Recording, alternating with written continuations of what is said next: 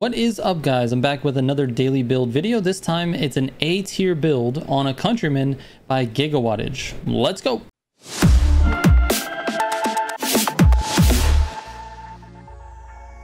Real quick before I get into the video, I stream every single week on Kick and YouTube, so turn on notifications so you don't miss those streams. You guys can come in and race with me on like 95% of the streams I do.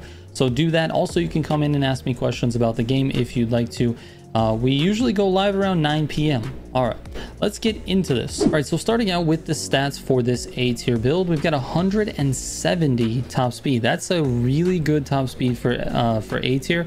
Usually that's like an A plus tier top speed for like short track builds. 3.80 to 60, which is great.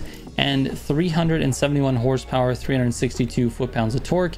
12.4 quarter mile. So not only does it have a decent 0 to 60, but it's got a great top speed as well. So this might be a very well-rounded build. Let's take it out to the test courses and see what happens. All right, first up, we've got the Drain. Uh, the record on this one for me was set by the RSX. It's a 145.98. It's a very fast time. I've never driven this Countryman uh, with a track build like this, so let's see what happens.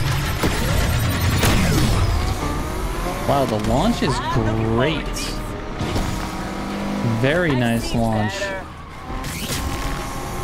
Turning radius seems like it's a little bit stiff. Like it, it might understeer just a little bit. Well, let's see what happens.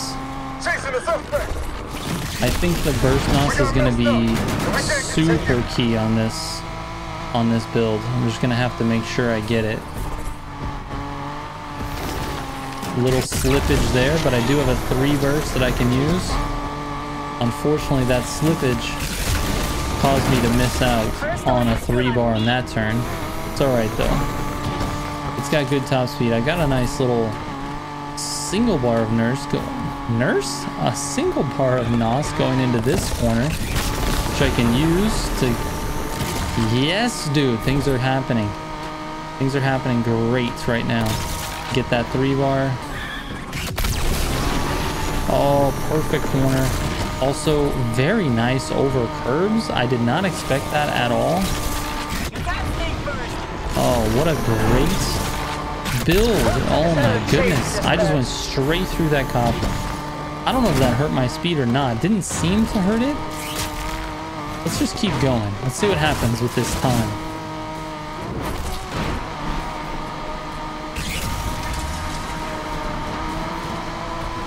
Let's see what happens. No worry yet.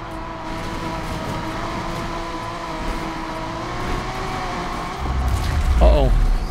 If they jump, then we jump Whoa. higher. Dude, I ran a 47 and I hit that cop like T-boned him. But either way, it runs a 47.51 on my very first time driving the car. That means we can definitely optimize the time. We can get it lower than 147.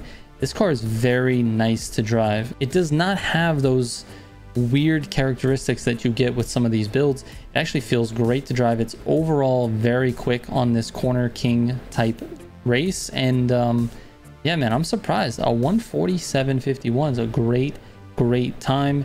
I think I might be able to get close to that RSX because that RSX is a 145.98.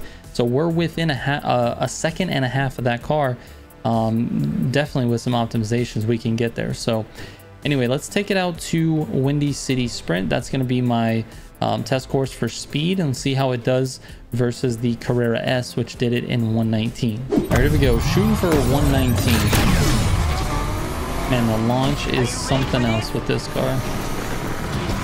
I launched so hard that I couldn't even like farm a single bar of burst from them.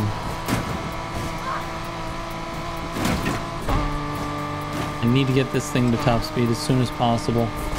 Sitting at 135. First only looks good on me. We're gonna be burning this NOS so we can get there.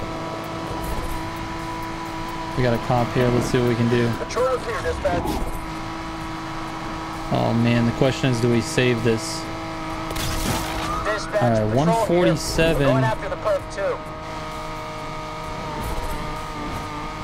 Oh yeah, we're gonna do this. no worries. Yet. All right, nice corner, no wall, a lot of nos. I think he's doing pretty good. I don't know if it's gonna be a 119 though.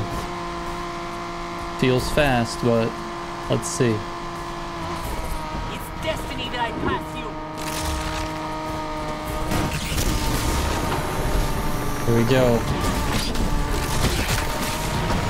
119, 21, 22. Yep. That's kind of what I thought would happen on this race. So it's got the top speed stat.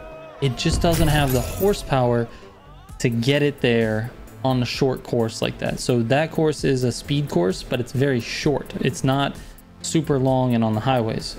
Because of that, you don't have enough time to get the car to full speed unless you have cars to draft. So if you're in multiplayer, I would think you could do a much better time on that course than 122 because you'll have cars to draft that are also trying to go fast with you. Anyways, a 22 is not bad at all. And I think with some optimizations, I don't feel like I got enough luck as far as the like police spawns. Usually you can get a couple of like free two bar bursts from the police, but I don't know if I got enough luck on this particular run, but 122.71 still not bad. All right, let's give you the full build. All right, so for the engine, we've got the 276 horsepower, 2.6 liter inline six.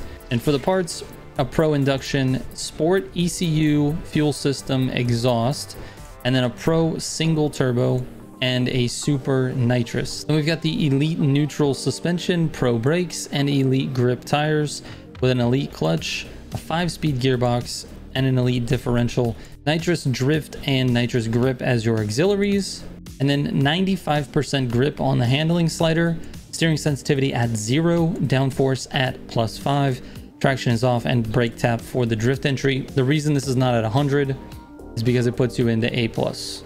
So 95% it is. All right, guys, if you have any questions about this, don't hesitate to send me a DM. I read every single message that comes my way on Instagram, Twitter, and Discord. So reach out to me if you need to. All right, thanks so much for watching. I'll catch you on the next daily build video. Trigger out.